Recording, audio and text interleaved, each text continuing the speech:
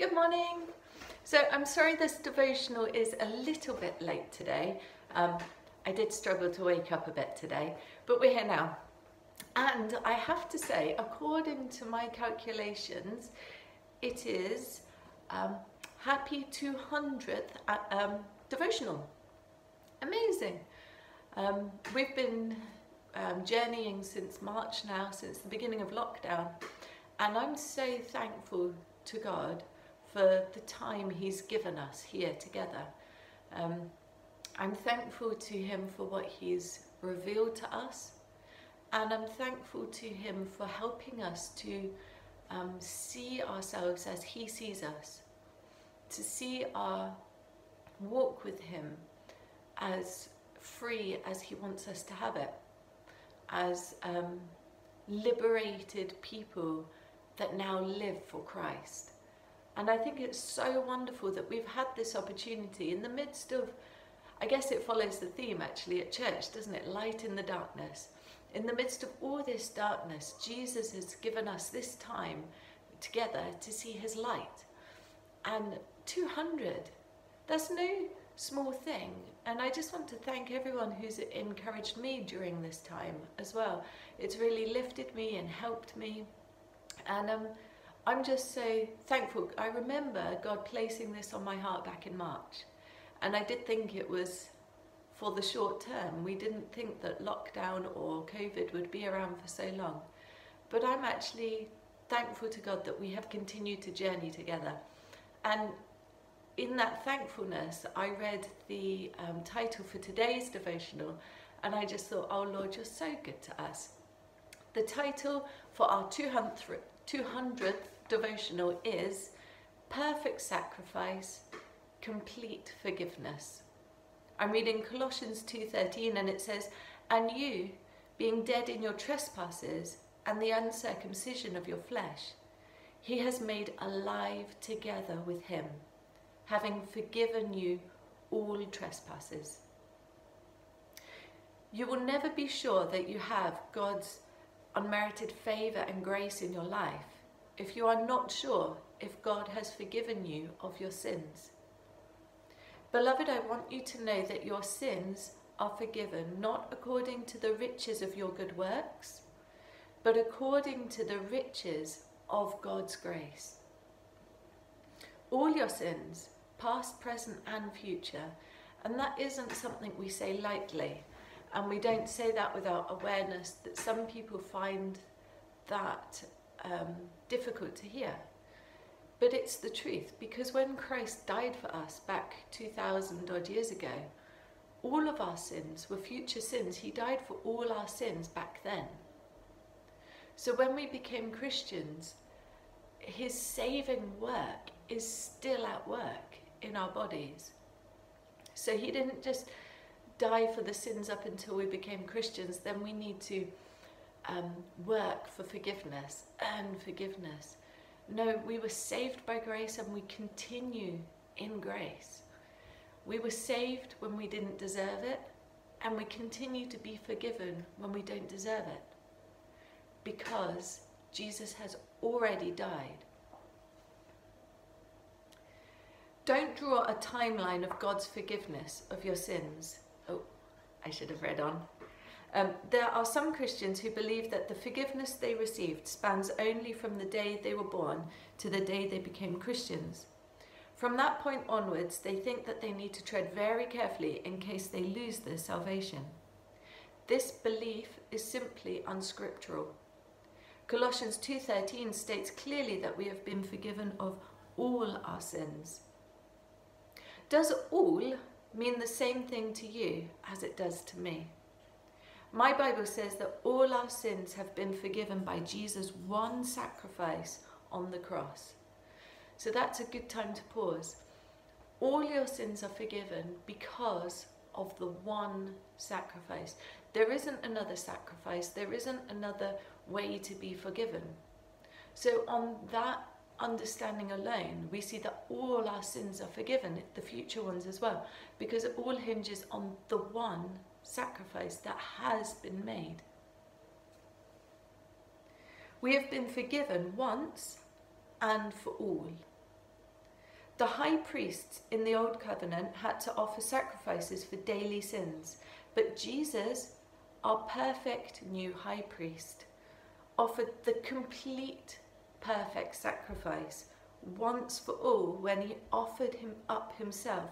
And we, you can read that in Hebrews 7 27. It says, Once for all, he offered up himself up. He offered up himself, sorry. On the cross, he took upon all the sins that you will commit in your lifetime, all of them.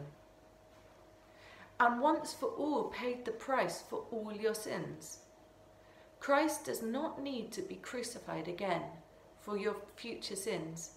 In fact, all your sins were in the future when he died on the cross.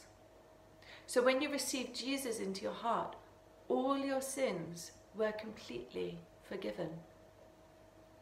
Now that you know your sin debt has been completely cleared and settled by Jesus on your behalf, don't expect God to deal with you according to your sins. So that's interesting, isn't it? Naturally, we believe that um, God will treat us according to our sins. So if we've messed up, we believe that God will treat us according to that. And when we sin, there is consequences. So, silly example, but if you choose to put your hand in the fire, you will get burnt. Um, you can you can choose your actions, but you can't choose the consequences. Um, no, sorry. You choose your actions. It means that in choosing your actions, you do choose the consequences. So you put you choose to put your hand in fire. You're choosing to get burnt. There's no two ways about it. So when you sin, there are horizontal consequences. If you steal, you'll get arrested. Even if you're a Christian, if you steal, you'll get arrested. If you do bad things, you'll get in trouble. There are horizontal consequences. So that there are consequences to sin this way. But between you and God, you are already forgiven because Jesus already paid the price for those sins. He's already been punished for you in your place. So, why then, I guess, do Christians um, not go around doing whatever they like? Because we want to honour the sacrifice that Christ made. We want to honour him. If someone died in my place, like we looked at on Sunday, that, that beautiful um, story in the Holocaust where that man took the other man's place and died in his place. That man that was freed spent his whole life telling people about what that other guy did for him, dying in his place. He spent his whole life telling people about him. And that's the same with Jesus. Once we truly realize what Christ has done for us, it empowers us not to sin. And we will spend our whole lives telling people about what Jesus has done for us. Remember, we don't have a religion, we have a relationship. Jesus is a real person who we get to know. And when we understand he died for us, we want our lives to honour him and reflect him. So there are consequences to sin. There are horizontal consequences. But know that before you and God, you're forgiven. You are forgiven. Um, and God, sorry, just one more thing. God is harsh with sin, and He doesn't want us to sin because He knows how much sin will destroy your life. Sin is bad for you. Smoking, bad. Um, getting drunk, bad. It's bad for your body. Stealing, bad. You get arrested. It messes up your life. It, you get a record, then you can't get a job, and so on and so forth. All those things are bad. God hates sin because sin destroys, whereas God, He brings life and freedom. Living for Christ is the best option. So God is hard with sin because He knows that sin will destroy you. But God gives you, like we looked at yesterday, He he works in you both to will and to do for his good pleasure. He works in you. Let the Holy Spirit work with you. If you're struggling in an area, like smoking or drinking or any other addictions or bad habits, let Jesus work in your life. Remind yourself of who you are. You are the righteousness of God in Christ. And let Him work in your life to bring freedom, to bring joy, to lift depression, to take away those chains of addiction. Let Jesus work in your life because He brings life. So when something negative happens, don't imagine that God is coming after you because of what you did in the past. Instead, take God at His word and expect to enjoy the benefits of the heavy price Jesus paid at the cross for you. We sowed nothing good, but through Jesus we have reaped every good blessing. That, my friend, is called grace and you honor what he has done for you by thanking him and expecting these blessings to manifest in your life every day. Our thought for today all is forgiven because of Jesus' sacrifice. And I pray, Father, your word is true.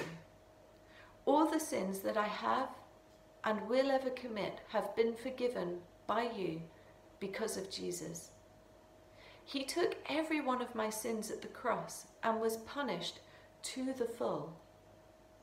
Therefore, I know that I am righteously and justly forgiven. My forgiveness is based on the sure and perfect sacrifice of Jesus. Thank you for extending such unmerited favour to me. In Jesus' name. Amen. I love that last bit. Thank you, Lord, for extending such grace to me, such love, even me, all my stuff. So have a great day. Put up some Christmas decorations and um, see you tomorrow. Bye.